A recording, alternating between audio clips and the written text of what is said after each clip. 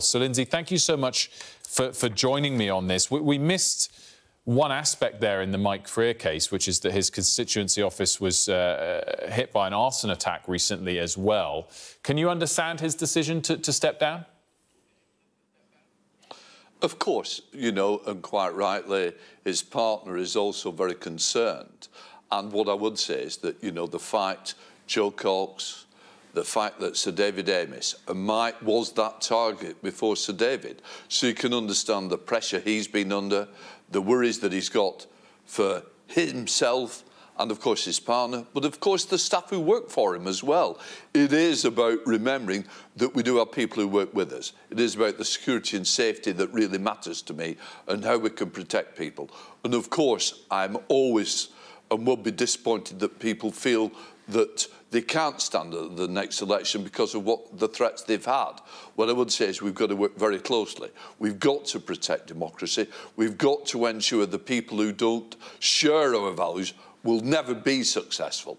And as I say, Sir David Amess, Jo Cox, what it does do is bring Parliament together, united that we will never give in to terrorism or will we give in to threats? So what I would say is my job is to try and ensure that we can work to put the best security measures in place, not only just for MPs, but for their staff and their families as well, as well as protecting the House of Commons and all that work here. And that's why, you know, I've got confidence in our head of security, the measures that have been put there, and the way that we never stop looking ahead to see what else we can do to protect MPs and the people who work with us.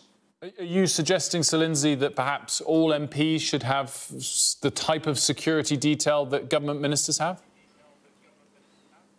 What I would say is that I don't go into the details of what security measures we put in place. What I can tell you, we've come a long way in a very short time to look and ensure the measures are there, working very closely with all the police forces around the country. It's not just this building, it's about MPs back in the constituencies as well. And as I say, we do have measures in place. We continue to review those measures. And of course, what we've got to do is ensure that those MPs, families and people who work with us are safe. But also it's about protecting democracy. As I say, people that may not share our values but they will never, ever win. Um, uh, Mike Freer said um, that the threats he's faced recently um, uh, and some of the reasons for stepping down, he said you can't divorce anti-Semitism from the threats and attacks he's faced. Do, do, do you agree with that framing? Is that the, the key risk and cause at the moment?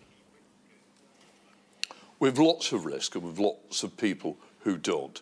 Whether it's people who are white fundamentalists, the people there, the rise of the extreme right, to terrorists coming across. We face many threats uh, as members of parliament, and that's the one thing that we've got to. And we've got to assess that. And of course, different things rise in different ways. And of course, the conflict in the Middle East has brought different people to the forefront. Of course, we've also seen that Jo Cox, it was the extreme right that tragically robbed us of somebody who had a great future in this house. The fact that we saw uh, terrorists, lone wolves, who self-radicalise at home, taking, and tragically, David Amess was also taken from us far too soon. And nobody should have to put up with threats like that. That's why I've got to work with whatever the threat is at the moment, working with security, working with the advice of the police and security agencies to try and ensure we are doing everything we can to protect the members, but also this about protecting democracy. Nobody should be able to win that. And I've got to say, wherever that comes from, we've always got to be ready. As I say, we've got police forces across the country that work together to try and ensure that our security package is delivered in the best way possible.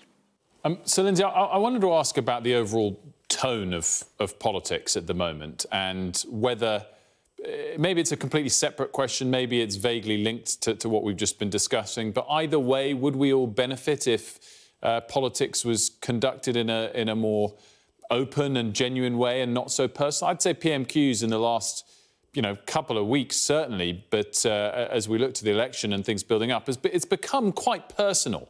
W would you like to see it more constructive? Of course, I want a nicer politics. And I want us to treat each other in a much better way than we've been seeing. We seem to be on election frenzy at the moment. We seem to be driven by the belief the election's coming tomorrow. Um, if it, you know, whether it's tomorrow or whether it's November, whenever it be, that is a long period. What we've got to do is ensure that the quality of politics is ensuring that people see the chamber. And of course, people reflect how we treat each other. And that's why I want us to have a, a nicer politics within the House, a nicer politics. And that's why I made that statement yesterday to try and turn down the heat of what's happening each Wednesday. Because in the end, don't be shocked if people react in the way that we react to each other. So, what I want is nicer politics, kinder politics, and a politics that people say, actually, that is good. I want to see that niceness coming across, not just in the chamber, but it's the treatment of each other. And hopefully, we can try and install that and try and turn down the heat on the election frenzy that seems to be happening at the moment. Sir Lindsay, on, on the topic of election frenzy, on end, ending on a, uh, a more upbeat note, you, have called uh, Sir Keir Starmer Prime Minister one, once or twice lately. Are you letting the polls get to your head? No, absolutely not. Look, I'll be quite honest. What people don't realise is the amount of noise and the distraction that's taking place. Some of it's quite deliberate, trying to distract, undermining, trying to deal with what's going on. People don't realise what's being shouted nearby, what's going on around me. And of course, it's just that distraction. And it's nothing to do with the polls. And of course, everybody can make mistakes.